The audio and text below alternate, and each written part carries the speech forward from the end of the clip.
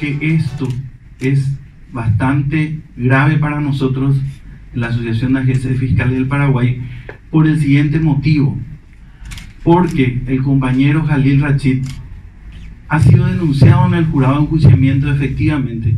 El jurado de enjuiciamiento ha analizado los elementos de la denuncia y finalmente ha sido cancelada la investigación por no tener méritos.